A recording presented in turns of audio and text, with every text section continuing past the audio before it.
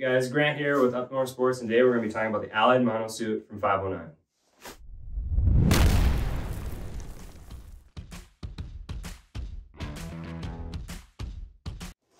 So if you guys are looking for a good piece that's insulated or non-insulated, it comes in both options.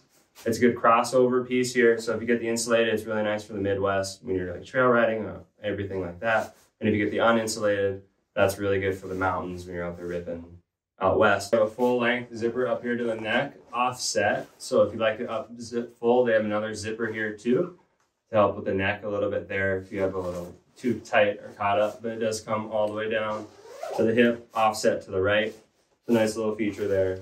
We'll get into the inside of the jacket here in a second, but I just want to point out the cuffing system they have here with 509 is an asymmetrical cuff.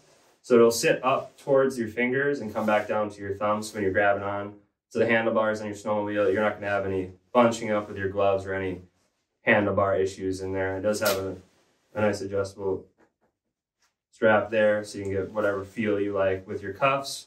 Um, going in up the arm, you have a nice arm pocket. It also comes with a goggle chamois. So if you're out there ripping pretty hard and you get some snow on those goggles or, the, or your shield, you, you have that right there for yourself so you can just wipe that right off. Nice little feature they added there. You'll see we have some venting underneath the pits here, which is huge. Full length comes down to the side right there.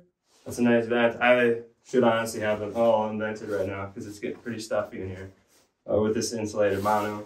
Um, you'll see there's more venting in here down in the thighs. Open that up, get some airflow in there as well as down here in the sides.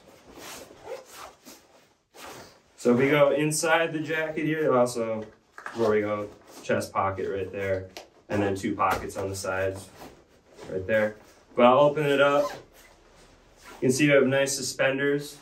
Uh, honestly, these would be a little slouched on me. I am like 5'10", this is a large, so it's a little long in my legs, but these straps, these nice suspenders here, I have pulled up, helps pull them up to my hips, and it actually makes it a good fit for myself. There's some internal pockets and vents in here. Internal pocket here, it does have a headphone port right there.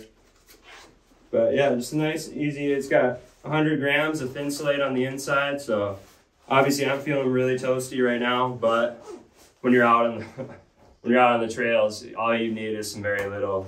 Um, if you're out doing trails in the Midwest where it's cold or out east, you'd only need maybe a little, a few base layers or something like that to pair with. But, but if you go uninsulated, you won't even have to worry about that.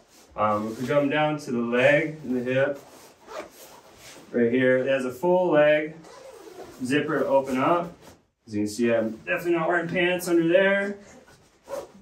But it also comes with a boot skirt that if you're wearing your 509 Raid boot, it just has a nice little buckle there that'll go right around the ring on your boot to help keep the skirt down and keep the snow out of your boots.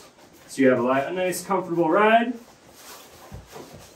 through there. And then, as always, one of my favorite features with men's mono suits is the front zipper because when you're out on the trails and you gotta go, that's a nice little, nice little way to relieve yourself out on the trail.